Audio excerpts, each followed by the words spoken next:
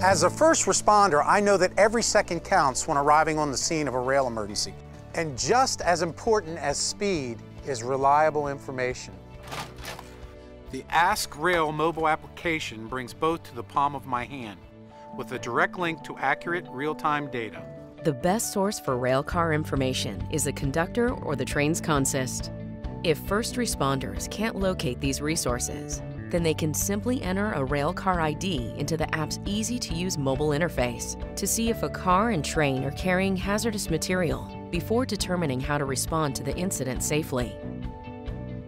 The AskRail app includes a mapping feature that allows first responders to identify schools, hospitals, health facilities, and fire and police stations as points of interest using GPS technology.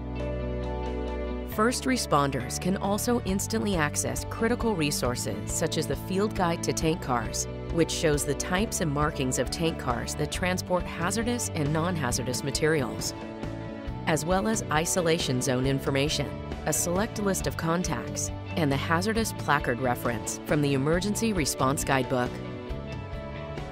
Plus, the app gives first responders emergency contact information for all Class 1 railroads and Amtrak, and provides access to a list of the top 125 hazardous materials, which helps hazmat managers and emergency responders design their training strategy. To learn more about this invitation-only application, go to askrail.us.